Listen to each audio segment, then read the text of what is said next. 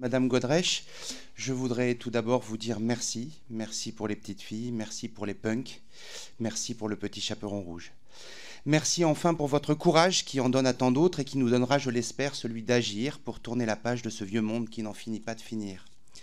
J'avais 12 ans, comme Charlotte Gainsbourg à la sortie de Lemon Incest. Je n'ai jamais trop aimé cette chanson, que tout le monde trouvait si délicieusement transgressive, mais j'ai encore le vinyle à la maison.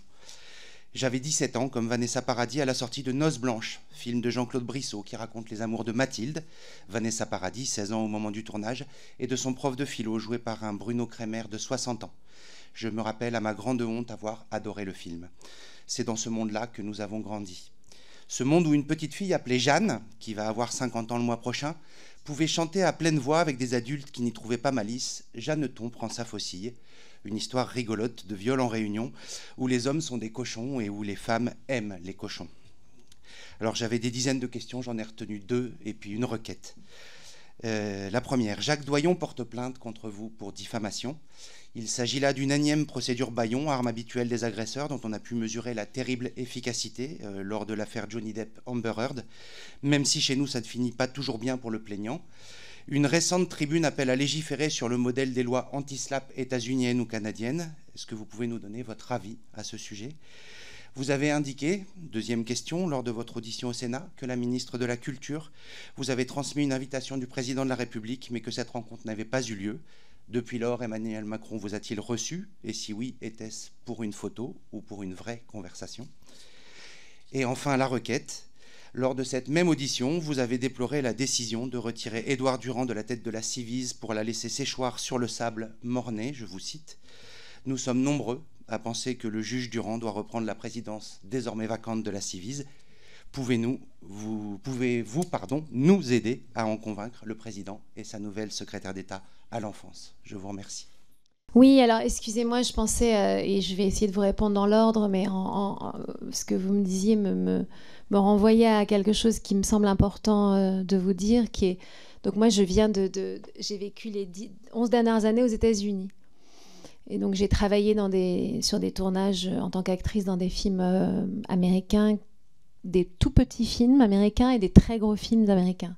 Dans les deux cas, quand euh, vous jouez un rôle qui euh, nécessite, dans lequel il y a par exemple dans le scénario écrit, il y a une scène, euh, je ne sais pas, Juliette fait l'amour avec Paul, description parfois dans le détail, parfois sommaire de cette scène, qui donc est mise en scène au moment où nous la tournons. Eh bien, dans votre contrat d'actrice ou d'acteur, hein, vous signez un contrat dans lequel il est spécifié, donc vous avez cette conversation avec votre agent, avec votre avocat, si vous en avez un, ce qui est chose assez euh, euh, courante aux États-Unis. Euh, chaque partie de votre corps que vous acceptez de montrer dans cette scène d'amour est écrit dans le contrat. Donc quand vous arrivez sur le tournage le jour J, le réalisateur peut pas tout à coup vous dire Bah non, moi je préfère que tu enlèves ta culotte. Parce que quand vous vous retrouvez, même une adulte, hein, devant une équipe de cinéma avec, comme on sait, la pression du temps, du budget qui fait qu'on n'a pas le temps de discuter, on n'a pas le temps de bavarder. Il faut y aller, il faut y aller, il faut y aller, allez, allez, allez, allez. Sinon, il y a des heures sup, etc. Donc, la responsabilité aussi d'être la personne, par exemple, qui tout d'un coup va bavarder, va négocier, va essayer de résister à cette demande, va prendre combien de temps? Avec la pression de cette équipe, la pression du producteur, la pression du directeur de prod qui est derrière le combo et qui fait genre euh, faut y aller là. Donc qui est un cadre justement qui soit parce que justement moi ce qui ce qui, ce qui, ce qui, ce qui me semble être récurrent ou la raison pour laquelle c'était important pour moi de venir vous voir aujourd'hui, c'est comment faire rentrer la loi. La loi pas la loi des parents. Alors quand on est enfant, on identifie les parents à la loi, mais sur un tournage, la loi c'est pas mes parents. pendant un casting, la loi c'est pas mes parents. Quand je suis dans la maison de Jane Birkin, toute seule avec Jacques Doyon et qu'il prend des notes et qui m'enregistre parler pour nourrir son scénario, ma maman n'est pas avec moi dans la pièce. Quand j'ai 15 ans, je me rends toute seule à une adresse qu'on me donne parce que comment puis-je savoir ce qui va m'arriver? Mais il est déjà trop tard. Moi, je suis déjà dans un système dans lequel je ne peux pas identifier la possibilité du non. On ne m'a pas donné les clés. Et, je pense à, à ce système-là à l'époque, mais qu'on soit post-68 ou en 2023, la puissance euh, du réalisateur, euh, d'une équipe qui euh, est elle-même en danger. C'est pas que la deuxième assistante ou la première assistante est une personne mauvaise. Qu'est-ce qui se passe si elle dit non mais ça va pas, tu... elle veut pas l'enlever sa culotte? Bah peut-être qu'elle perd son boulot. Peut-être d'ailleurs qu'elle va décider de partir du plateau. Mais c'est un petit milieu. C'est une petite industrie. On est dépendant euh, du prochain coup de fil. En tant qu'actrice, en tant que technicien, on est dépendant. Et que font les techniciennes aujourd'hui? Elles s'organisent toutes seules. Est-ce qu'elles vont euh, discuter toutes ensemble au CNC ou parler avec vous? Non, elles s'organisent toutes seules. Elles font des groupes de discussion toutes seules. Les femmes se débrouillent toutes seules. Pourquoi? Parce qu'il faut combien de femmes pour être entendues par un homme? Il faut combien de femmes pour, pour qu'on puisse croire, nous croire qu'un homme plus connu, plus puissant, plus convoité, nous a agressés. Et c'est ça, c'est la, la, la ce qui est fou, c'est que la plupart de ces hommes, de ces hommes qui d'ailleurs, euh, j'y réfléchissais l'autre jour et je me disais, c'est faux aux États-Unis, vous savez, ils, sont, ils aiment faire des films, ils, sont très, ils, aiment, ils écrivent des livres, ils pensent beaucoup, ils réfléchissent beaucoup à l'idée du serial killer. Il y a beaucoup de films qui sont faits sur des serial killers, il y a des, livres, on réfléchit, bon. Et, et, et dans le fond, les serial violeurs, c'est la même chose. C'est-à-dire qu'un homme qui viole une fois, il viole deux fois, il viole trois fois, il viole quatre fois. Je ne suis pas unique. Je ne suis pas unique et j'en sais trop. J'en sais beaucoup, beaucoup, beaucoup, beaucoup trop. Cette, euh, ces choses que je sais, c'est un poids, c'est une souffrance pour moi, mais surtout pour celles qui se sont confiées à moi. Qui se sont confiés à moi, non pas parce que je suis toute puissante, je suis privilégiée, j'ai la possibilité de m'exprimer en public, j'ai la chance d'être invitée ici, mais parce qu'à travers moi, leur honte, leur culpabilité, leur l'endroit de leur vie où elles se disent qu'elles ne pourront jamais, jamais, jamais être entendues, a un tout petit peu d'espoir. Mais même quand on est deux, même quand on est trois et même quand on est quatre, on a toujours peur. Et en effet, il y a les procès en diffamation, dont d'ailleurs même des jeunes étudiantes en théâtre m'ont parlé. Une jeune fille qui était dans un cours de théâtre qui s'est retrouvée avec un procès en diffamation.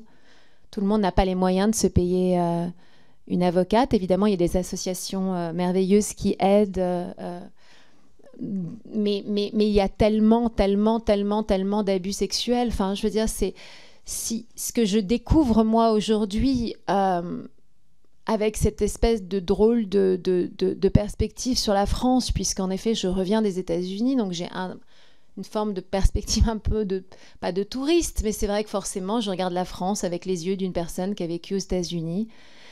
Et, et, et, et, ces messages que j'ai reçus, ces 5000 messages au jour d'aujourd'hui, c'est une vision de l'enfer c'est une porte ouverte sur l'enfer. C'est l'expression que j'utilise le plus parce que, évidemment, qu'on est obligé de vivre notre vie tous les jours en se levant le matin, en s'habillant, en allant faire ce qu'on doit faire, notre métier, quand on travaille dans tel ou tel.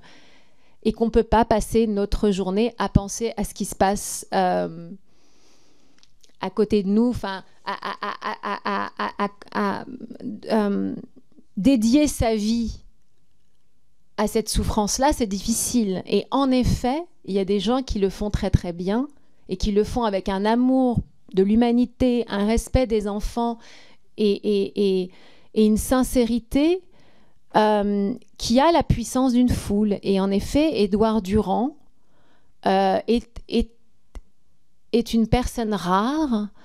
Euh, et c'est peut-être parce qu'elle est si rare qu'elle a été qu'elle n'est plus à la tête de la Civis. Dans le fond, moi, je ne l'explique pas et je n'étais pas là quand il a été écartée de la Civise. Je viens de revenir, enfin, je suis revenue en France, ou alors peut-être que j'étais là, je ne sais pas. En tout cas, je, n'étais pas là la création de la Civise. J'ai découvert euh, euh, Édouard Durand, euh, voilà, parce qu'on m'a, dit que c'était important que je le rencontre. Et en effet, c'est, compliqué pour moi de, je ne suis pas en mesure d'analyser pourquoi une personne aussi exceptionnelle n'est plus à même d'aider ceux qu'il aidait. Qu'il aidait. Euh, de la même manière que je suis par contre tout à fait capable de comprendre comment les femmes qui m'écrivent, euh, pourquoi elles ont peur de s'exprimer et dans quel euh, cercle vicieux elles se trouvent. et comment elles sont obligées de s'organiser toutes seules, de réfléchir toutes seules. et en effet, Adèle Haenel, Adèle Haenel a donné, euh, malgré elle, euh, ce qui est triste, sa, colère est absolument légitime. Elle avait tellement raison d'être en colère. Mais ce qui est horrible, c'est que sa colère a donné la possibilité à ceux à qui elle posait problème de justifier euh, leur désaveu quant à ses propos, quant à sa parole. Sa, colère, la manière dont elle s'est exprimée, leur a donné la possibilité de s'abriter derrière le fait qu'elle était en colère. Parce que quand on est une femme et qu'on est en colère, c'est impossible d'être entendu. Alors moi, je parle doucement. Mais moi aussi, je suis en colère. Je suis très, très, très en colère. Mais je m'exprime euh, différemment et ça ne veut pas dire que euh, euh, non seulement je ne la comprends pas, d'elle je ne l'entends pas, je ne la porte pas d'une certaine manière en moi. Euh, et, je comprends qu'elle soit partie. Moi-même, tous les matins, je me demande si je ferais pas mieux de faire autre chose que du cinéma. Parce que pourquoi Pourquoi vouloir continuer à travailler dans un milieu qui ne veut pas se remettre en question? Alors, c'est pas parce que tous les gens, tous les acteurs, les actrices, les techniciens, les techniciennes, les, producteurs, les productrices sont des gens euh, mal intentionnés. C'est qu'il faudrait qu'on, il faudrait créer un cadre qui leur donne la possibilité de parler. Et je pense que la loi, par exemple, porter plainte, elle a porté plainte, mais ça veut dire que, ben moi aussi. Et pourquoi pas moi? Ah, il y a un cadre, on a ouvert la porte d'un cadre, un cadre s'est créé dans lequel peut-être quelqu'un de bienveillant va recueillir ma parole, quelqu'un qui va pas me virer d'un boulot. Je vais aller à cet endroit, peut-être porter plainte, moi aussi. Il y a un endroit, il y a une adresse, c'est la brigade des mineurs. Mais moi, je suis privilégiée. C'est grâce à mon avocate qui, qui, qui, qui s'est battue, et parce que je suis quelqu'un de, de, une personne connue, que j'ai eu la chance d'aller directement à la brigade des mineurs.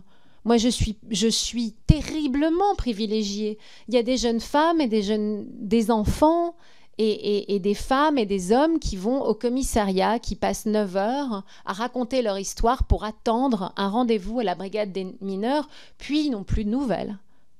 Et ça peut, ils peuvent rester sans nouvelles pendant des mois et des mois et des mois parce qu'il n'y a pas assez d'argent, il n'y a pas assez d'effectifs. Euh, je le vis aujourd'hui. C'est-à-dire qu'une enquête, ça prend du temps, ça nécessite beaucoup de gens, il y a plein de choses qui se passent, il y a tellement d'abus sexuels, il y a tellement de viols, il y a tellement que voilà, les choses vont prendre un temps fou, forcément. Euh, pardon, excusez-moi. Euh, alors en ce qui concerne... Euh, oui. Oui, non, Emmanuel Macron, je je ne pense pas pouvoir vous aider à, avoir quelque influence que ce soit quant à sa décision par rapport à la, à la civise. J'ai moi-même très peu de, de, Ma voix porte très peu quand il s'agit d'être entendue par Monsieur le Président de la République, euh, puisque il me semblait être euh, que je j'évoquais quelque chose qui me paraissait être de l'ordre du raisonnable, c'est-à-dire de donner l'exemple et qu'un homme comme euh, Monsieur Boutonnat, qui, est, euh, a maintenant des charges euh, contre lui dans, cette accusation d'abus de, sexuel, de viol par son filleul, il me semblait que c'était quelque chose d'à la fois raisonnable et puis qu'en plus, qui, comme je l'ai déjà dit, c'est quelqu'un qui n'est pas irremplaçable. Je ne le suis pas non plus. Euh, et qui pourrait être donc remplacé par quelqu'un qui, en tout cas, dont on ne sait pas, qui a des, charges de, de, voilà, qui plus est. Euh, euh, c'est vrai que c'est compliqué, euh, même dans les conversations que j'ai avec euh, les, associations, avec les syndicats euh, de casting, d'agents, avec l'ARDA, avec le collectif 50-50. C'est compliqué malgré tout de se dire qu'on va aller au CNC parler de ces sujets-là. Enfin, il y a quelque chose vraiment qui me semble tellement basique, tellement un plus un fond deux euh, donc c'est voilà dans l'enceinte d'une institution qui, est présidée par quelqu'un qui, déjà représente, qui évidemment qui a la présomption d'innocence, mais ça n'est pas de ça dont on parle là. On parle d'une sorte de, révolution nécessaire à l'intérieur d'une société, celle du cinéma dans lesquels il y a tellement de plis qui ont été pris. La toute-puissance des réalisateurs est absolument réelle. Je, elle n'est pas de, des années de ma jeunesse, elle est encore aujourd'hui. C'est les histoires qu'on me raconte. Euh, ne sont pas de 1986, 87, des années 90, ça fait 30 ans qu'elles se reproduisent inlassablement de la même manière il y a un système féodal, un système aristocratique, pardon, et il y a le réalisateur, le producteur qui sont tout en haut, et ensuite c'est une, c'est une, et, il y a vrai, on est dans un système féodal, et les gens n'osent pas prendre la parole, mais ils ont raison, je les comprends, c'est pas parce qu'ils manquent de courage. Hein.